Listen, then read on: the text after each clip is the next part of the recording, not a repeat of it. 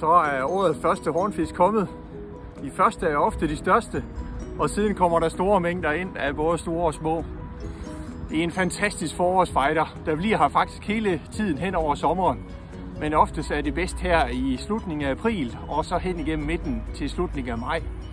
Hen i juni, juli og august går de ofte lidt dybere ud, men man kan stadigvæk sporadisk fange dem fra havne og moler og både. Og igen august, slutter august, september, der kommer de igen lidt tættere på land. Tykke og fede, fordi de æder sig tykke hen over sommeren. Og så kan man fange nogle kolossale hornfisk, der trækker ud af bælter og sund, ud mod England og sydover, øh, for at overvintre igen øh, til efteråret. Det er mega fedt. Springglade fætter kan fanges på alt muligt fra blink til små spinnere, bombardefløde, boblefløde med efterhængt fluer eller efterhængt regnorm, efterhængt sildestykker, efterhængt hjerter, hvad man nu har lyst til. Jeg skal nok gå i detaljer med metoderne lige om lidt. Se med her. Hej med jer. Jeg vil fortælle jer lidt om, hvilke metoder man kan bruge til at fange rundfisk. Hornfisken er ikke øh, egentlig svær at fange, men det man skal være lidt opmærksom på, det er, at hornfisken den har et meget langt og meget smalt næb, som er besat med en masse små syleskarpe tænder. Og det betyder, at hvis man fisker med for store kroge eller for store avn, så kan hornfisken simpelthen ikke få fat i avnen med det her lange, lange næb. Den vil ligesom prøve at nappe og bide, så man får en masse hug, og man får en masse følgende fisk, men man får bare ikke rigtig lige fisken til at sidde fast. Og det er der rigtig mange rigtig fine tricks til. Jeg vil vise jer mine favoritter, og så er det ellers bare at komme afsted. For her i slutningen af april, hele maj måned, et stykke ind i juni måned, og så igen øh, september, øh, måske lidt af oktober måned, ja, så kommer hornfisken altså rimelig tæt på kysten og kan fanges helt ind på meget, meget lavt vand. Hornfisken findes i mange forskellige områder, og øh, selvfølgelig der, hvor hornfisken stimler lidt sammen, det er ofte ved sluser og fjordmåninger. Det kan være ved Sande og Torsminde. Det kan også være ved nogle af broerne over på Sjælland, Københavns Havn ved Slusen. Øh, men ellers på spidsen af tanger og moler og høfter øh, kan der også være rigtig mange hornfisk. Men ellers så hornfiskene her i maj, de går altså ind og gyder på ganske lavt vand inde i tangskov og stensætninger, meget tæt på land, og der kan du altså finde dem på alle kyster, fra selv helt øh, til sandede kyster med revler, til kyster, hvor der er lidt sten og grus og blæretang, de her såkaldte leopardkyster. Øh, så der er ikke nogen steder, hvor man siger, her er det bare super godt øh, den ene dag og super dårligt den næste. Det er simpelthen bare at gå ud i det. Øh, så ud og prøve ud på kysten derude. Hvis I ikke fanger noget den første halve time, så giv det altså lige en chance mere. Hornfisken er en stivefisk, og ofte kan man opleve, at der måske ikke lige er fisk den første halve eller hele time, og lige pludselig så koger det bare med fisk. Og der skal I så vide, hvis I er mere end en af sted, så er det altså nogle gange en god idé, at når den ene har en fisk på, så kaster den anden også ud og får en fisk på, og så holder man ligesom stimen i gang. Fordi så længe der ligesom er noget fødeaktivitet i området, så kan man faktisk være heldig at holde på stimen i rigtig, rigtig lang tid.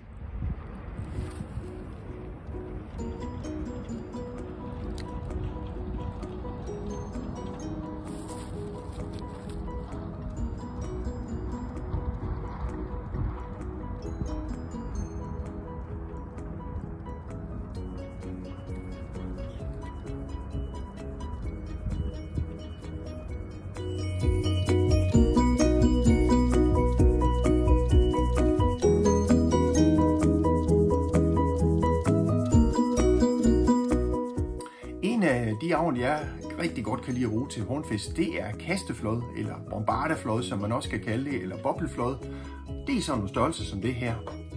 Et bombardeflod er i bund og grund bare et øh, plastik øh, ovalt stykke med et rør på, der gør, at linen ikke kluder sig sammen, når man kaster. De får sig forskellige kastevægte, men også med forskellig densitet, så nogle synker, og nogle øh, er intermediate, altså svagt synkende, og nogle er flydende. Jeg bruger altid flydende til hornfisk, fordi hornfisken jagter rigtig højt i vandet.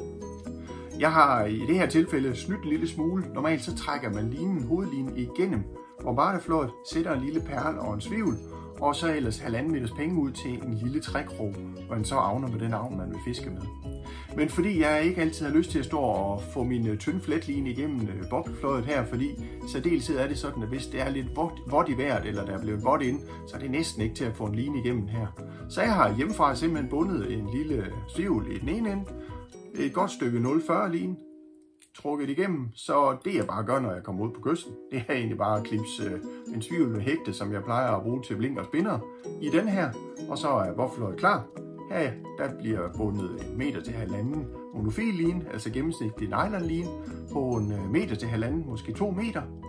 Og så en ganske lille fin trækrog, størrelse 12 til 14, eller en enkelt krog, størrelse 4 til 8.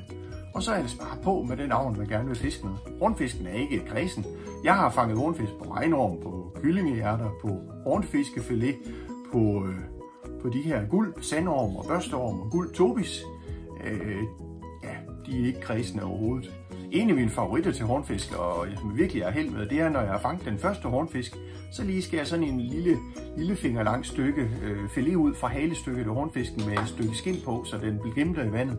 Og så ellers bare fisk den efter øh, bombardagen. Alternativ til bombardagen kan fx være bobleflod. Bobleflødet er lavet sådan, at det er bare fyldt med luft, men i det man kan trykke pinden herud, så kan man faktisk fylde vand i øh, det her bobleflod, og når man har fyldt det op sådan to tredjedel cirka, så skubber man pinden i igen, og så har man lige pludselig kastevægten indbygget her, og kan kaste ud til der, hvor fisken er.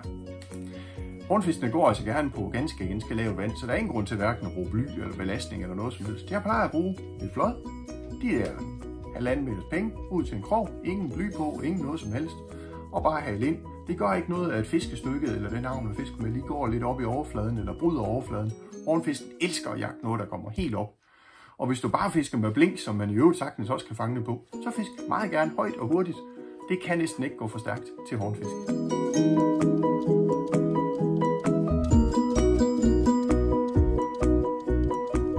Når vi snakker fiskeri med blink, så er der rigtig mange blink, man kan bruge. Øh, så længe man kan kaste ud med dem, og så længe de går for lot i vandet, så er hornfisken nok lidt ligeglad. Jeg kan godt lide at bruge lidt slankeblink, som måske imiterer sådan lidt de her fødefisk, småsild og tobiser, som øh, hornfisken rigtig godt kan gå og, og nappe i. Det jeg dog gør som udgangspunkt, det er, at i stedet for bare at have trækronene siddende inde i springringen, som man plejer, så binder jeg altså lige de her 5-6 cm monofil lige 0,40 i, og sætter en lille trækrog størrelse 10, 12, 14 stykker, der lige efterhænger blinket lidt. Og det er igen på grund af den her meget spidse næb, hornfisken har, så når det kommer og piller i en krog, der sidder fast i blinket, så kan den ikke altid få ordentligt fat. Hvorimod, når den går efter fikspunktet her, så vil den altså få fat med lidt, lidt længere ind i næbet, altså det er lidt tykkere munddel øh, herude. Og så sidder hornfisken altså langt bedre fast, og du fanger langt flere fisk. Et alternativ til hornfisk, det er at fiske helt uden krog, og det er, det er ret sjovt. Man kan købe de her øh, såkaldte silkekroge. Alle mulige forskellige producenter laver dem. De fleste grejbutikker har dem. Der er jo ingen krog på, og det man egentlig bund gør, det er egentlig bare, at i stedet for at sætte en krog på blinket, så sætter man bare sådan et stykke silkekrog på her.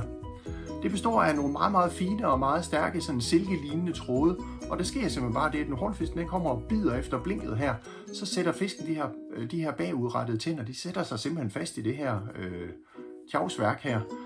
Man skal ikke ligesom når man fisker med trækrog give et stort tilslag, fordi så rykker man jo bare det her floss her ud af munden på dem igen. Man skal ligesom lige lade den gumme lidt i, og så haler man ellers bare stille og roligt ind, og så vikler hornfisken simpelthen sine tænder og næb fuldstændig ind i det her.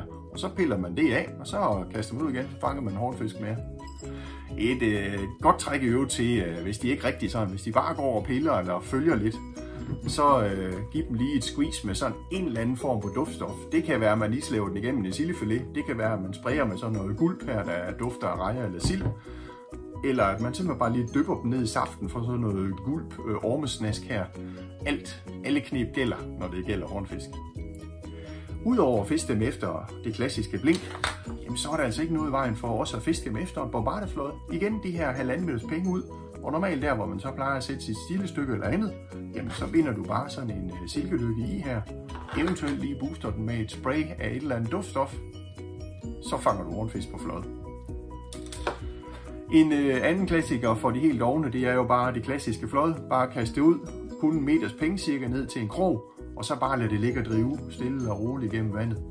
Det er ja, det bider de også på. Der er det jo ikke så meget fiskene, man leder efter, fordi man står ikke og haler ind.